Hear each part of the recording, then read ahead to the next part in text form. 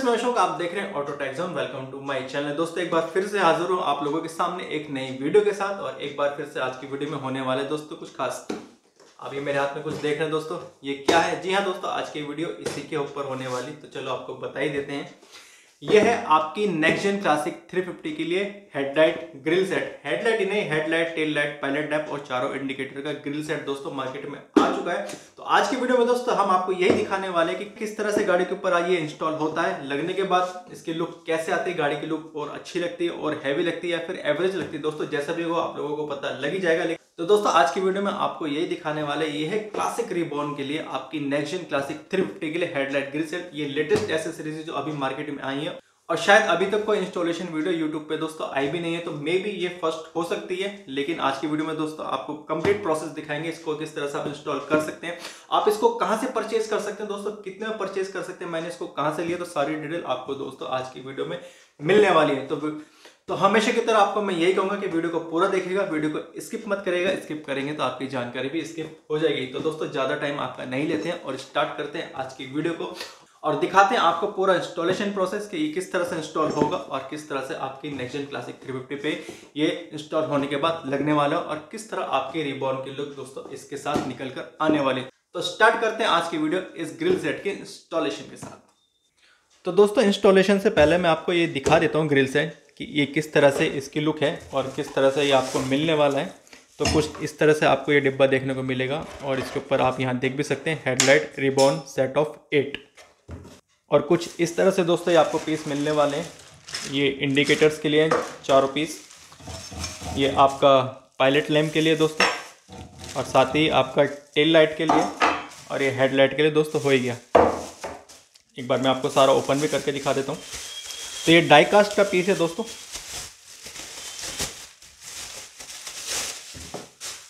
ये देखिए, कुछ इस तरह से इसकी लुक आने वाली है। आप देख सकते हैं, एक बार इसकी फिनिशिंग चेक करिए। ये हो गया हेडलाइट और ये है दोस्तों आपका टेल लाइट के लिए। आप देख सकते हैं, एक बार इसकी लुक चेक करिए। फ़िलहाल अभी मार्केट में ये ब्लैक में ही अवेलेबल है। इन फ्यूचर डेफिनेटली इसमें silver C N C cut काफ़ी नई नई वेराइटी आपको देखने को मिल जाएँगी, लेकिन करंट में अभी यह है। आप यहाँ देख सकते हैं दोस्तों, होल यहाँ पे आप अगर देख पा रहे हैं तो यहाँ से आपकी जो ग्रिल सेट है, ये आपको एल की के थ्रू यहाँ से टाइट करके आपको ये फिट करना है अपने टेल लाइट में। और उसी तरह से मैं आपको ये दिखा देता हूँ एक बार इसके पायलट लैम्प ये देखिए, इसकी आप एक बार लुक देखिए, इसकी आप एक बार फिनिशिंग देखिए। ये देखिए, एक बार इसकी आप फिनिशिंग चेक करिएगा।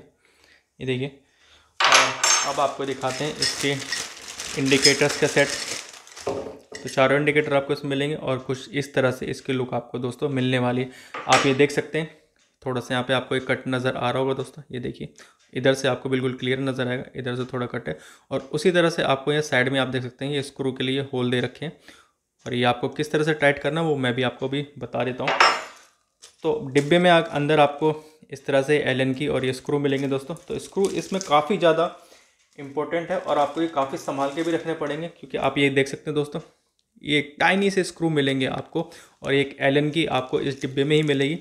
बारह स्क्रू मिलेंगे आपको और एक एल की मिलेगी और तो कुछ इस तरह से आपको ये एल की में से ये स्क्रू को आपको इस तरह से दोस्तों टाइट करना, आप ये देख सकते हैं। इस तरह से लगाना है आपको और ये आप ये इंडिकेटर में देख रहे हैं ये और आपको यहाँ पे आप ये देख सकते हैं, यहाँ पे आपको ये टाइट कर देना दोस्तों। तो ऑलरेडी मैंने यहाँ पे आप यहाँ देख सकते हैं। तो ऑलरेडी मैंने दोस्तों इसमें ये स्क्रू ऑलरेडी लगाए हुए हैं। आप ये देख सकते हैं। आपको सिर्फ़ इसको एल की के थ्रू टाइट करना है दोस्तों और कुछ नहीं करना। इस तरह से आप इसमें एल की लगाएँगे और इस तरह से आप इसको टाइट कर सकते हैं। तो सभी प्रोसेस सभी के लिए यही प्रोसेस है। इंडिकेटर्स में आपको ये छोटे टाइनी जो स्क्रू हैं इंडिकेटर्स में ये आपको फिट करना है और टेल लाइट में ये आपको फिट करने हैं।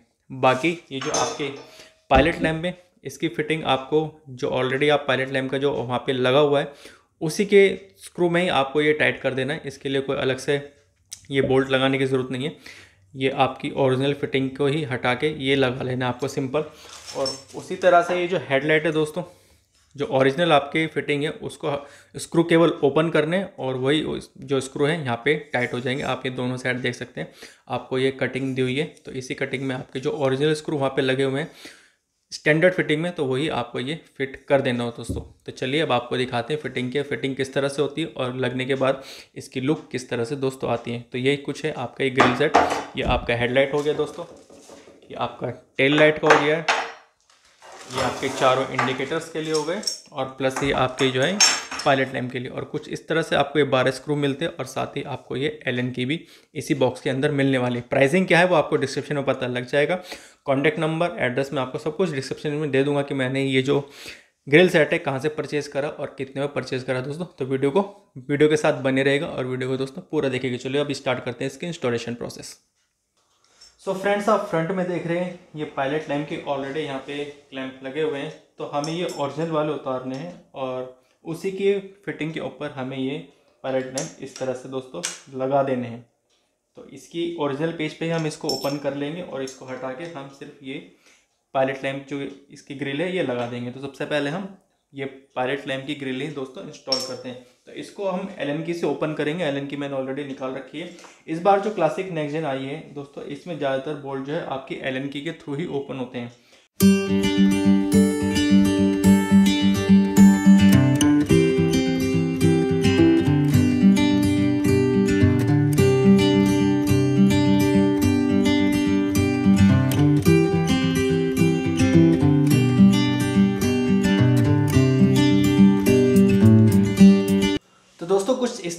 पायलट लैम्प के एल के थ्रू ये बोल्ट ओपन कर लिए हैं।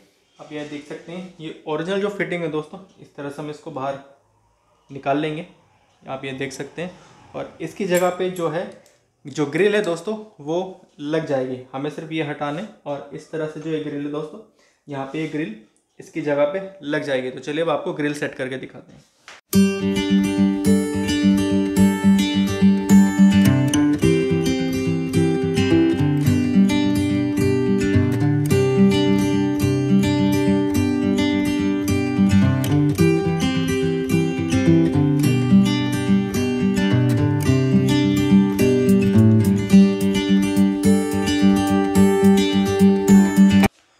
देख सकते हैं दोस्तों, जो ये पायलट टैंप पे इंस्टॉल हो चुके हैं। कुछ इस तरह से इसकी लुक आ रही है। मैं एक बार ऑन कर देता हूँ। ये देखिए, कुछ इस तरह से दोस्तों इसकी लुक निकल कर आ रही है।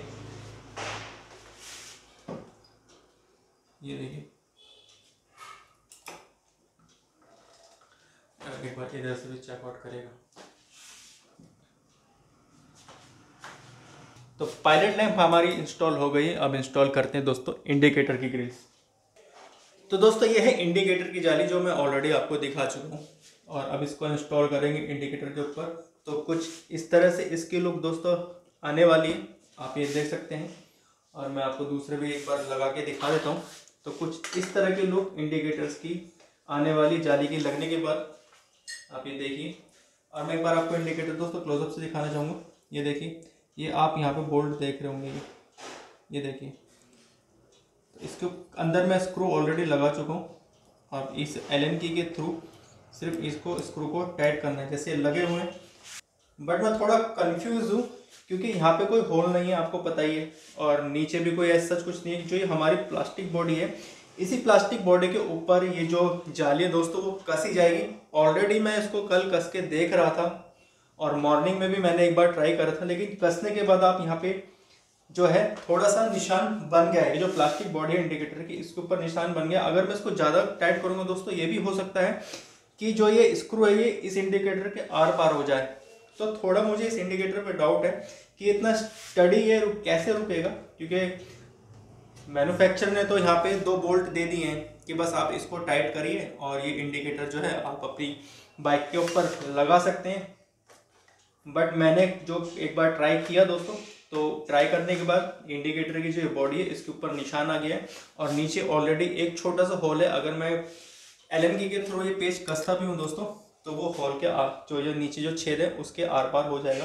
तो रुकेगा कैसे? मुझे थोड़ा सा ये डाउट है इस पर तो इसीलिए मैं एक डबल टेप भी अपने साथ लाया था।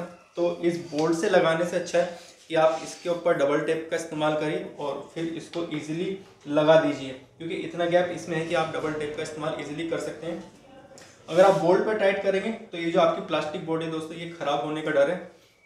यहाँ पे छेद भी होने का डर है। इससे अच्छा है कि आप ये डबल टेप लीजिए और इसको यहाँ पे डबल टेप से चिपका दीजिए। मेरे लिए इस हिसाब से ये बेस्ट ऑप्शन रहेगा। फिर भी मैं आप लोगों के सामने एक बार ट्राई करता हूँ। जो होल है दोस्तों इससे मैं इसको टाइट करने की एक बार कोशिश करता हूँ। सो फ्रेंड्स ये है इंडिकेटर की जाली। तो इसके ऊपर भी मैंने, देखिए डबल टेप लगा दिए चारों तरफ़। और ये है टेल लाइट की जाली, आप देख सकते हैं। इसके ऊपर भी मैंने डबल टेप लगा दिए। क्योंकि ये जो स्क्रू हैं, बिल्कुल रेड प्लास्टिक के ऊपर ये स्क्रू आ रहे हैं। अगर मैं इसको ज़्यादा से भी, ज़्यादा टाइट कर देता हूँ तो जो रेड प्लास्टिक है टेल लाइट का वो चटकने का डर है दोस्तों। तो मैं अपनी एक बाइक को हार नहीं पहुँचाना चाहता हूँ। इस ग्रिल के चक्कर में अपना कोई इंडिकेटर या टेल लाइट को मैं क्रैक नहीं करना चाहता हूँ तोड़ना नहीं चाहता हूँ, क्योंकि ऑलरेडी यहाँ पे एक छोटा सा डेंट ऑलरेडी हो चुका है। अगर मैं ज़्यादा उसको थोड़ी सी भी ताकत लगाता हूँ ज़्यादा टाइट कर देता हूँ तो मे बी ये प्लास्टिक है तो वो आर पार भी दोस्तों निकल सकता निकल सकता है तो उससे अच्छा अल्टरनेटिव है, मैंने ये डबल टेप का इस्तेमाल करा है। तो एक में और इंडिकेटर आप देख सकते हैं यहाँ पे। ऑलरेडी मैं डबल टेप से इसको लगा चुका हूँ। अब सेकंड इंडिकेटर लगाते हैं, उसके बाद दिखाते हैं आपको टेल लाइट किस तरह से लगती है इंडिकेटर किस तरह से टेल लाइट लगती है डबल टेप लगने के बाद दोस्तों। तो आप देख सकते हैं, ये भी थोड़ी सी मशक्क़त करनी पड़ती है, थोड़ा सा थोड़ा सा ज़ोर लगाना पड़ता है, लेकिन ये इजीली डबल टेप से दोस्तों लग गया है। आप ये देखिए, ये प्रॉपर फिट मैंने इसको कर दिया है। थोड़ी सी जान लगानी पड़ती है ताकि ये थोड़ा सा अंदर सेट हो जाए। उसी तरह से मैंने ये वाला सेट भी जो है ऑलरेडी डबल टेप से दोस्तों यहाँ पे लगा दिया है। तो कुछ इस तरह से इसकी लुक आ रही है। एक बार मैं आपको दिखा देता हूँ जला के। ये देखिए।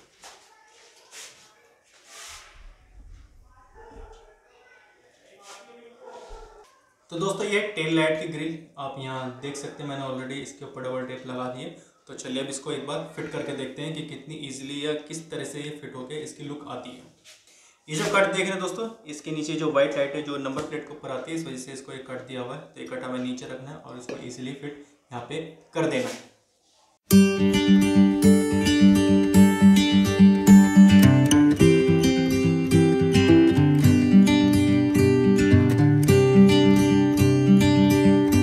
तो दोस्तों, आपने देखा डबल टेप लगाने के बाद तो ये जो ग्रिल है, ये फिट नहीं हो पा रही है, क्योंकि डबल टेप से जो इसकी जो गैप है वो कम हो गया है और काफ़ी टाइट हो गया है यहाँ पे मामला। तो इस वजह से ये अंदर नहीं जा पा रही है और जो इसमें जो स्क्रू दिए हुए हैं दोस्तों, आप ये देख सकते हैं। इसको मैं यूज़ करना नहीं चाहता हूँ, क्योंकि जो स्क्रू है दोस्तों, बिल्कुल टेल लाइट के ऊपर आएँगे। दोस्तों, मैं आपको दिखा भी देता हूँ। ये जो डबल टेप है, ये देखिए, मैं इसको यहाँ से हटा देता हूँ और उसके बाद इसको ये देखिए दोस्तों, आप जो इसकी मैंने डबल टेप है, वो मैंने हटा दिए कुछ इस तरह से इसकी लुक आएगी यहाँ पे। आप ये देखिए। और ये जो एल की से इसके जो है नट बोल्ट वो टाइट होंगे। एक बार मैं आपको टाइट करके दिखा भी देता हूँ। एक बार छोटा सा मैं रिस्क लेके देखता हूँ इसके साथ, लेकिन अमूमन मैं इसको यूज़ नहीं करना चाहता हूँ बोल्ट के थ्रू तो ये है इसकी दोस्तों एल की और इसके थ्रू हम इसको अब टाइट करेंगे।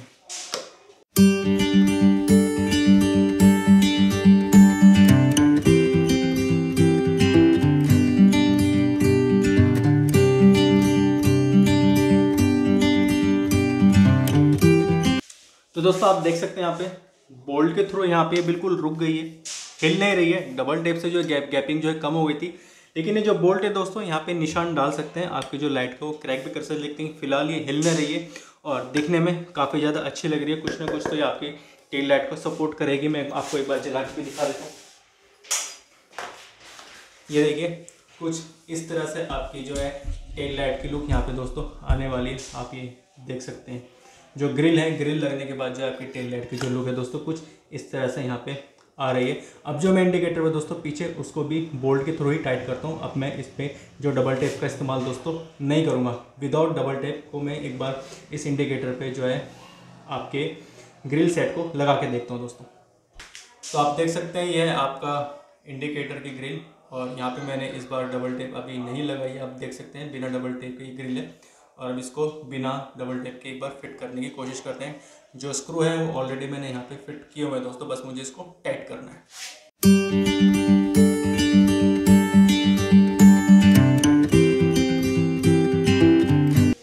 तो आप देख सकते हैं दोस्तों, बिना डबल टेप के यहाँ पे जो इंडिकेटर की जाली को मैंने फिट कर दिया है। और ये हिल तो नहीं रही है दोस्तों, लेकिन ये कि ये जो आपकी प्लास्टिक बॉडी है, इसको डेफिनेटली ख़राब कर देगी। इस पर डेफिनेटली जो है स्क्रैचेस आ जाते हैं, इस पर निशान पड़ जाते हैं, क्योंकि ऑलरेडी जो मैंने फ्रंट पे जब ट्राई करा था, वहाँ पे निशान पड़ चुका है। तो मैं सिर्फ़ इसी बात से डर रहा था कि कहीं मैं अगर इसको ज़्यादा कस दूँ तो कहीं जो प्लास्टिक की बॉडी कहीं जो है, जो स्क्रू है, वो आर पार ना हो जाए और जो इंडिकेटर है, वो बेकार ना हो जाए। इसी वजह से मैंने डबल टेप का इस्तेमाल करा। अब मैंने इसको डबल टेप के थ्रू भी डबल टेप से भी मैंने आपको लगा के दिखा दिया और विदाउट डबल टेप भी आपको दोस्तों लगा के दिखा दिया। अगर आप अपने इंडिकेटर के साथ थोड़ा रिस्क ले सकते हैं तो आप इसको स्क्रू से ही टाइट करिए अदरवाइज़ जो इंडिकेटर है, आप डबल टेप से भी इस्तेमाल कर सकते हैं। लेकिन जो ये टेल लाइट है दोस्तों, ये डबल टेप से नहीं लग पाएगी, क्योंकि यहाँ पे जो गैपिंग है, वो कम है। वो आप स्क्रू के थ्रू ही यहाँ पे लगा सकते हैं। आप देख सकते हैं, मैंने लगा दी और ये बिल्कुल भी हिल नहीं रही दोस्तों।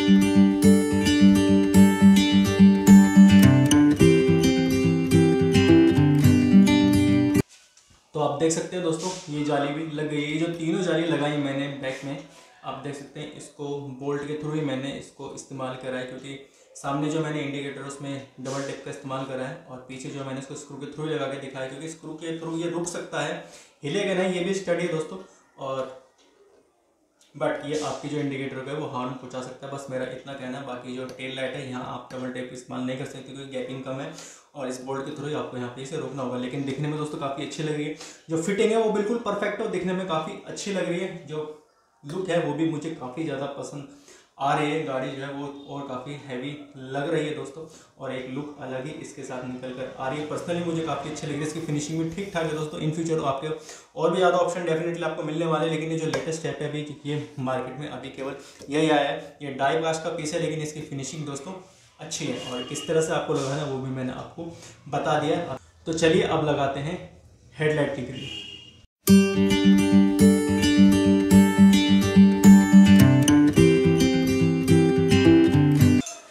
हेडलाइट ग्रिल है दोस्तों, आप ये देख रहे हैं। अब ये जो मैंने अभी यहाँ से जो पेज खोले हैं, उन्हीं पेज पे ये फिट हो जाएगी। कोई एक्स्ट्रा अलग से इसमें पेज की ज़रूरत नहीं जिस तरह से पायलट लैम्प फिट हुए थे, उसी तरह डायरेक्ट फिटिंग इसकी फिट हो जाएगी। तो एक बार इसको लगा के इस तरह से देखते हैं।